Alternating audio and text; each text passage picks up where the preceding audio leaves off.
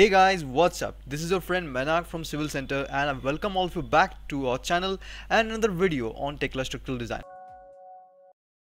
So friends, in today's video, we are going to show you how to check the spacing of stirrups in Tekla Structural Designer.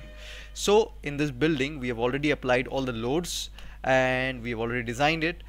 Now we are going to show you how to check the spacing of the stirrups. So we'll start one by one so as you can see the name of this beam is 3b2 so to check the design of this particular beam we'll just right click on it and click on generate detailing drawing. So it will generate the detailing drawing for the beam 3b2 so we've already opened it in the AutoCAD file.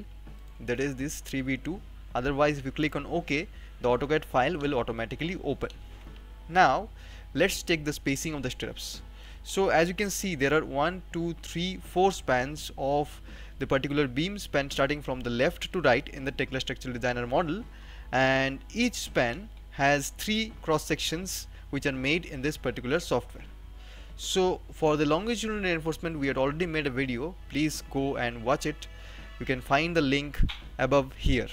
So as you can see here this is the spacing of the stirrups. 8 mm stirrups has been used at a spacing of 100 mm here also 100 mm so along for all these three the spacing of 100 mm has been used.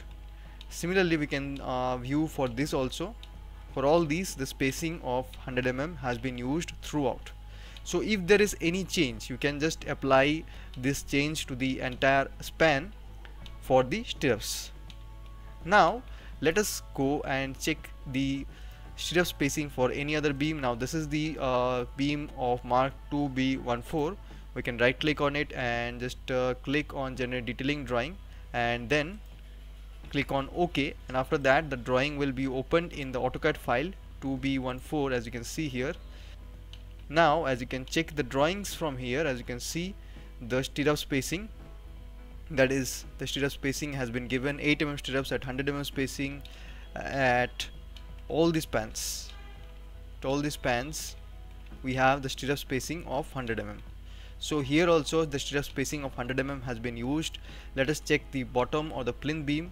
So the marking is 3b base or b2 we can just right click on it and we can just click on uh, design generate detailing drawing. And then we can open the file in the AutoCAD by clicking on OK.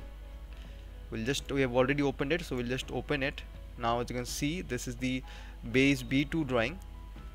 So here also as you can see the spacing is 100 for this span spacing of the stirrups. So it's uniform. It's 100 in all the spans. So here it is given uh, spacing of 100 mm at all the spans. Now what to do in the practical field if we can just check the shear force diagram of it we can uh, go to the particular uh, results view. And we can just select any particular load combination and then we'll just switch on the results from here. And then we'll just turn on the shear force measure. So as you can see here so this shear links or the stirrups are given to resist the shear forces in the beams and as well as to bind the longitudinal reinforcement together. So as you can see the shear force is minimum at the center. So as a consultant or as a structural consultant what you can do is you can just reduce the spacing in the middle of the beam. So you can do it in the detailing part. So if you are doing the detailing in AutoCAD uh, while you know just generating or you know not noting down the final results you can do like this.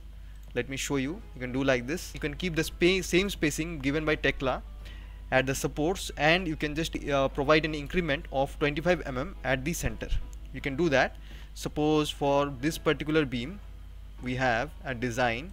Let's see for this particular beam of 3b2 we have given a spacing the software has given a spacing of uh, you know 8 mm bars at a spacing of 100 mm so we can provide this at the ends and at the center you can provide a spacing of 125 mm so this you can do as a consultant which will save uh, some amount of steel and it will be beneficial for clients especially in large projects. So that's all for today's video. And if you want to become a consultant and if you want to get trained on how to become a consultant how to deal with clients how to think like a structural consultant and you if you want to get ready for working in the field you can join our live courses on Tekla Structural Designer and various other courses related to civil engineering.